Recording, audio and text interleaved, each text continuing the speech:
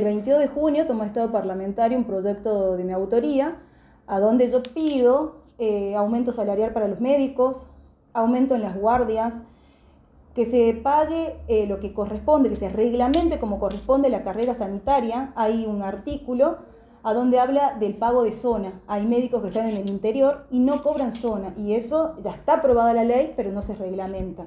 Así, aparte de los insumos, ambulancias. Eh, en buen estado en, todo, en cada uno de, los departamentos. Eh, en eso, eso es lo que abarca, digamos, el proyecto. Hasta el día de hoy está en comisión, está en comisión de Hacienda, y bueno, no tenemos la mayoría en la comisión, entonces no podemos sacar los proyectos. La mayor, nuestros diputados, digamos, de la oposición tienen el gran problema que no tenemos los números en las comisiones. Nosotros trabajamos, presentamos los proyectos, los estudiamos, contratamos profesionales para que nos ayuden a realizar nuestros proyectos, pero lamentablemente quedan en la comisión, al no tener mayoría, no salen nuestros proyectos. Siempre salen los que conviene, digamos, al, al oficialismo. ¿no?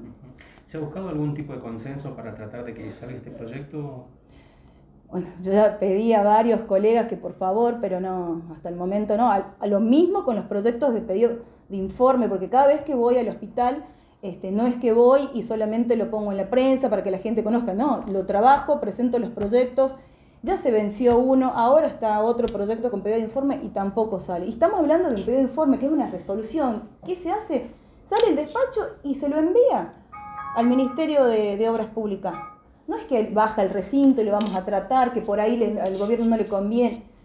No, tiene que ir al ministerio para que respondan. Lamentablemente no salen.